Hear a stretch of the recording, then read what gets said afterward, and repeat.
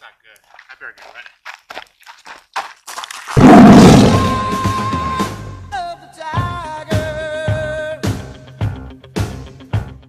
Hey there everybody, this is 22 Tiger Dude here and I'm here to review Desierto, which does mean desert in English.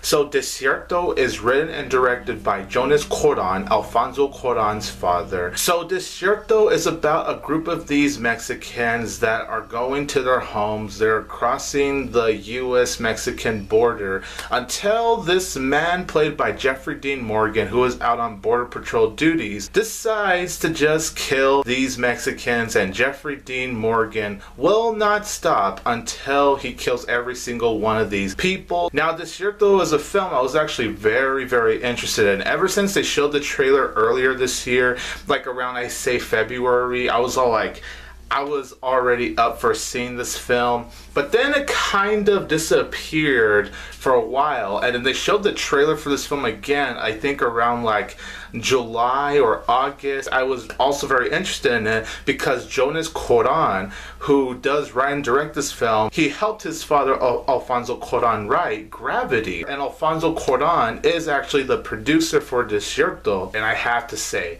Desierto is a very riveting thriller. This film is very intense. It had me at the edge of my seat. This is a very well executed, well written, and well directed film. Jonas Cuarón honestly did such a good job of writing and directing this film. As far as the writing goes, although this is not a film that really has that much character development, he still somehow does a good job of making you feel sympathy for these people that are trying to cross the border.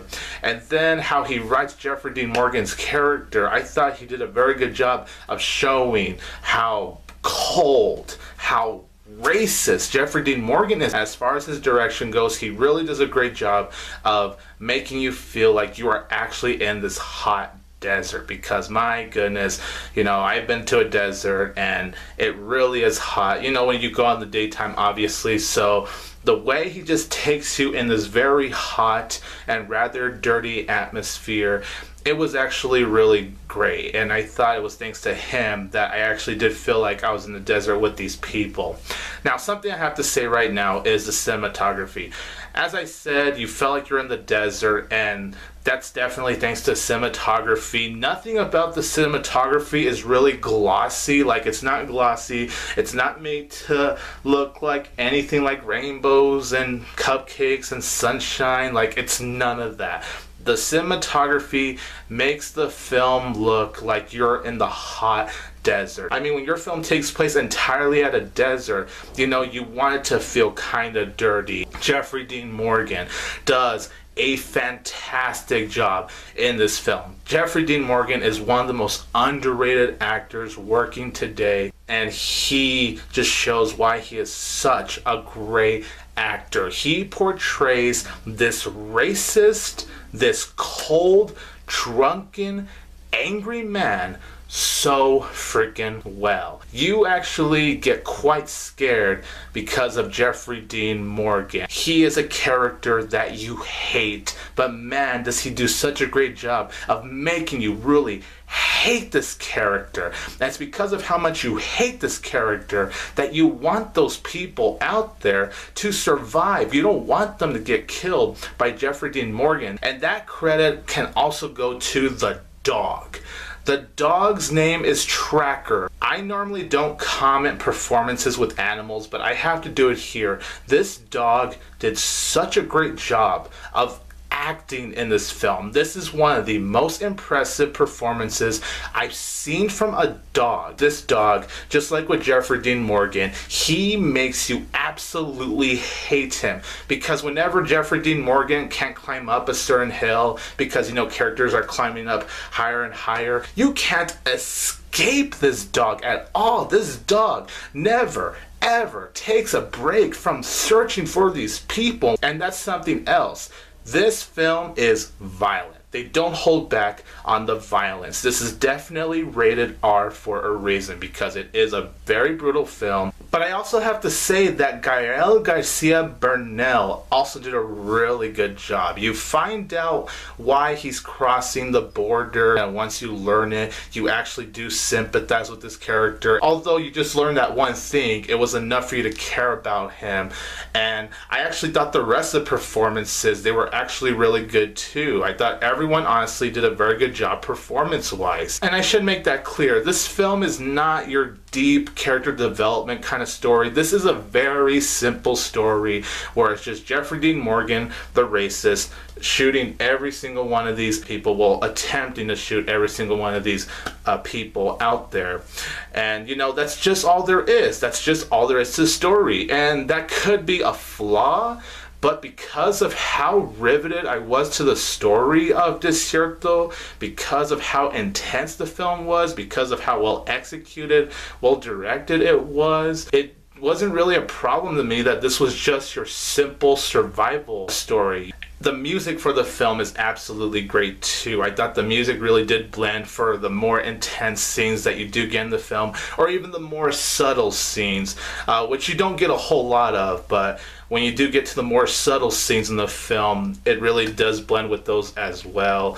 And I also have to say, you know, I brought the cinematography, but I have to say, the opening shot of Desierto.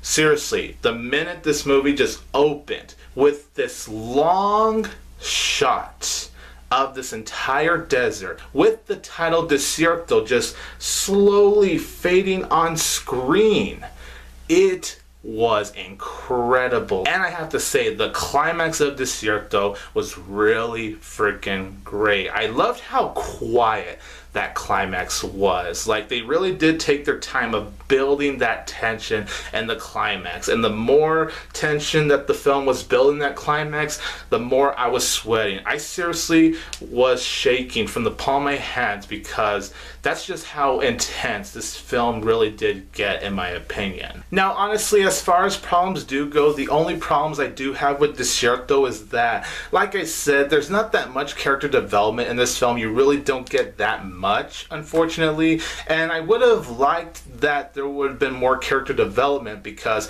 yes, I get it, the movie is basically nonstop. Like, it really is nonstop once Jeffrey Dean Morgan spots these people and it rarely, rarely, rarely takes a break. But there's this one scene that really does take a break for a good couple of minutes and we actually get to learn some backstories from a couple of characters of why they're trying to cross the border and I found that to be riveting. I just wish that we got more of that kind of character development to be honest with the film. I think it would have added more to the story if we got to learn more about most of these characters in the film and Jeffrey Dean Morgan I would have liked it if the film gave him a backstory and there actually was a point where I thought Jeffrey Dean Morgan was actually gonna have this backstory, but you know, once I think they were gonna go to that point, they just cut to the next scene with Jeffrey Dean Morgan trying to look for these people. There is also some very distracting shaky cam in Desierto, specifically once Jeffrey Dean Morgan actually does spot these people,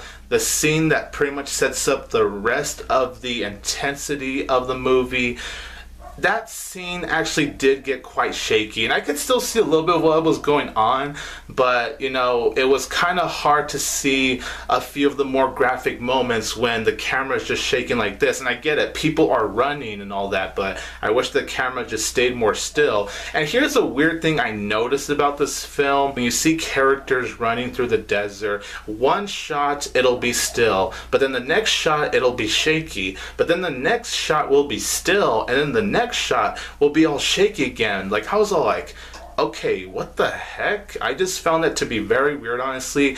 And although I was at the edge of my seat whenever you see these characters trying to survive, you can predict, honestly, when certain characters are going to die. Like, once there's a character at that moment, I was honestly able to predict, yeah, that character's going to die from there. And then the last problem I did have with Desierto, is that in the climax, it was really subtle. Like I said, it was more calm.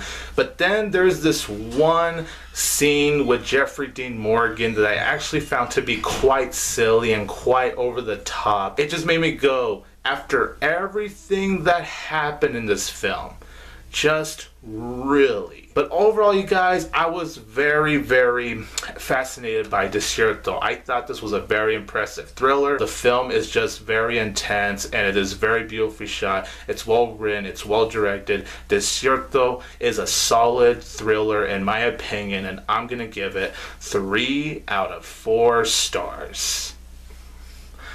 So, you guys, in the comments down below, let me know what you think about Desierto. And I would like to thank Mr. J for helping me film that quick little intro at the desert. You're welcome. This is 22 Tiger Dude here, and don't forget that I will always have Tiger Power!